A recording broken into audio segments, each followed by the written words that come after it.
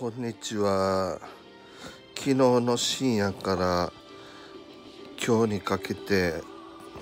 え音楽鑑賞してましたけど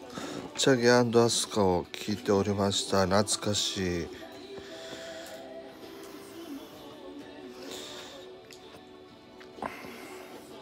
このベストアルバムがまあ僕的には一番好きなんですけどね。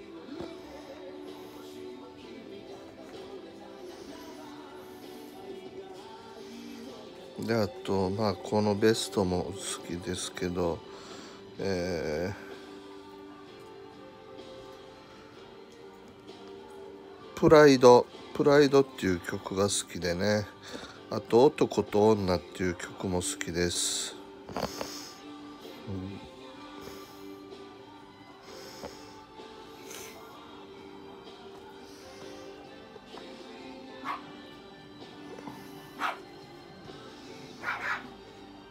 でこれは、えーまあ過去のヒット曲をリメイクしたアルバムですね。ちょっと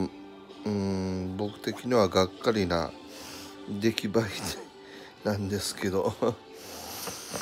でこれがアスカのソロアルバムですね。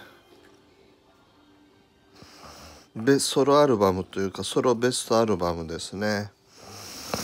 まあこんだけまあ聞いておりましたまたこの後何を聞くかはまだ決めてませんがまたご紹介したいと思いますんでよろしくお願いいたします。